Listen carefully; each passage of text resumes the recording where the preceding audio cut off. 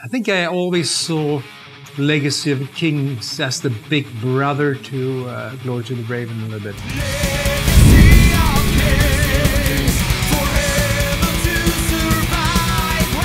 The songwriting process was very different back then, uh, but it was so much fun. Uh, we had so much fun working together, just doing these things together. It's, um, I think it's a really good album. Uh, sometimes when I listen to it, I go like, fuck, I'm playing that, you know. Not many people have that chance to uh, have that kind of journey. So I take my hat off for this. With the Legacy of Kings, we could do everything bigger and, and better and more bombastic than with Glory.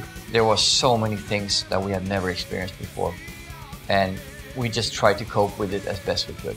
Every song that we created, I think everybody had the same feeling, like, yeah, you know, like there it is. You, it's like you build a sand castle or something, and then it's finished. Wow,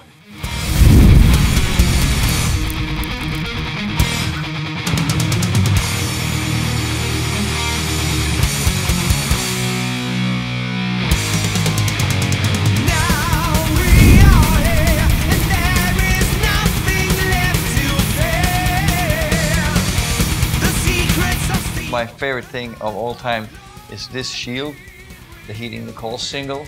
Because I think we were in the studio five or six weeks with uh, Legacy, only recording. Oh shit, we really, we have created something here, you know. Well, when I look back into all these things, I feel very proud and very fortunate that this has been a part of my life. Legacy of